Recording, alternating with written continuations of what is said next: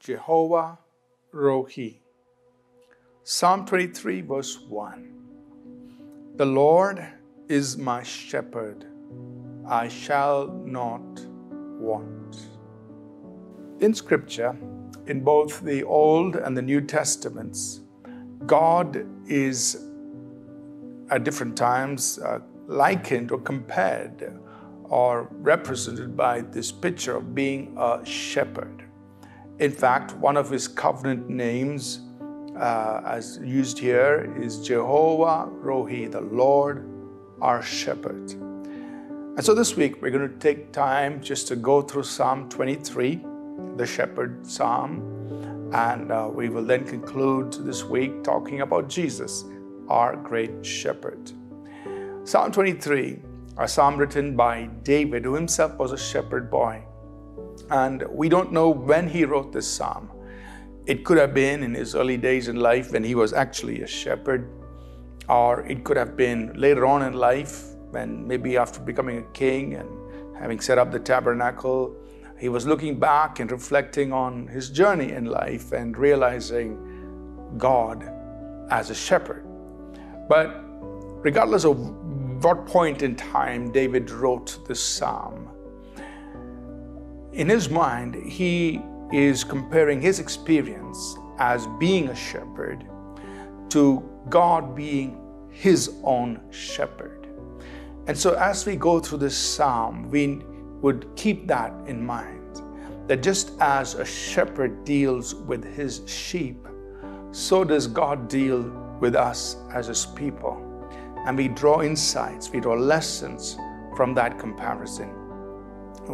As the psalmist said, you know, he, we are the sheep of his pasture. That means God cares for us the way a shepherd would care for his sheep. So David says, The Lord is my shepherd. Now imagine a shepherd taking care of the sheep. Uh, we're talking about a shepherd who genuinely cares for the sheep. He's not going to, you know, let the sheep experience harm or danger. He's not going to starve his sheep to teach them a lesson. He's not going to deprive them of their water when they need it. Uh, he's not going to deprive the sheep of food and pasture. But a shepherd takes care of his sheep. And so, in that same comparison, David says, The Lord is my shepherd. He's going to care for me in such a manner. He's going to care for me in such a complete way. He says, I will not want. Or to put it another way, I will not be in lack. I will lack nothing because the Lord is my shepherd.